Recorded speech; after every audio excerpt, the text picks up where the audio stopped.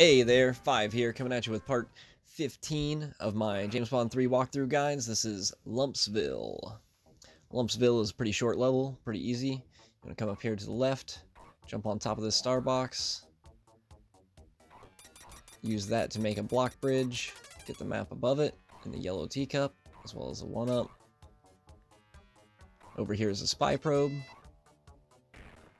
Jump down for the purple teacup, couple of stars in that tree if you need to refill your life. Up here in this tree is an umbrella. Make sure you keep this umbrella with you. Careful of these turbo verms.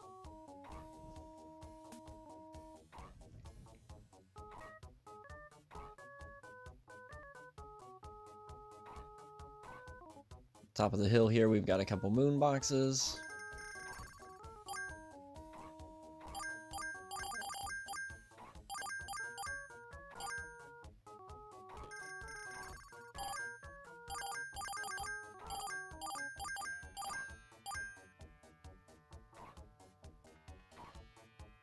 And up in the top of that tree on the left there, we have a medal. You can use these bananas to get up there.